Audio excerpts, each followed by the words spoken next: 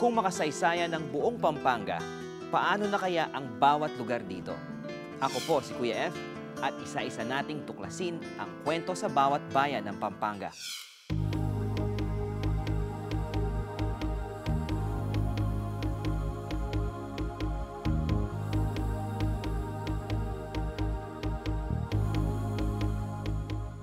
Pamoso ang lugar na Clark, Pampanga. Pero alam ba ninyo kung saan ito nagmula? Clarkfield, mula sa pangalan ni Major Harold Clark, isang US Army na mula sa Minnesota ngunit lumaki sa Pilipinas.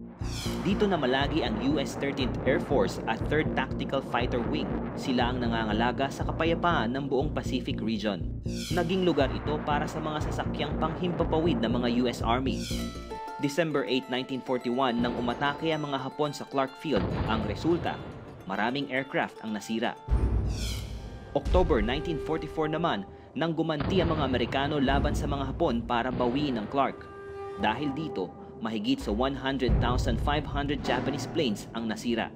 At muling nakuha ng American forces ang lugar. Unti-unti ring naitaboy ang mga sundalong Hapon, ngunit may ilan sa kanila ang piniling manirahan pa rin sa kalapit na bundok. At bilang sabotahe, ninanakaw nila ang ilan sa mga sasakyan ng mga Amerikano. March 14, 1947, isang kasunduan ng pinirmahan ng Amerika at ng Pilipinas kung saan sa loob ng 99 years ay gagawing base militar ng US Army ang Clark. May 1949, ang Clark Field ay nalipat sa US Air Force at mula noon, ang buong base ay nakilala bilang Clark Air Base. Pero noong December 21, 1992, agad namang napawalang bisa ang Military Bases Agreement na ito. April 3, 1993, inaprubahan ng dating Pangulong Fidel Ramos ang Clark Special Economic Zone at unti-unti nang inumpisahan ang Clark Development Corporation. November 24, 1997 naman nang tuluyan ng nilisan ng US Forces ang Pilipinas.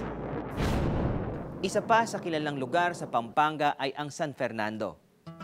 Pero dati pa man ay naging makasaysayan na ito dahil noong June 27, 1892, sinasabing huminto rito si Dr. Jose Rizal upang manghikayat ng mga tao para umanib sa La Liga Filipina. Isa sa parte ng kasaysayan ng San Fernando, ang San Fernando Train Station. February 23, 1892, nang buksan ang railway na ito. April 1942, ito ang naging ending point ng 102 kilometers na paglalakad ng libu-libong Pilipino at Amerikano na biktima ng Death March. Karamihan sa kanila ay malapit nang mamatay sa gutom, pagod at iba pang sakit.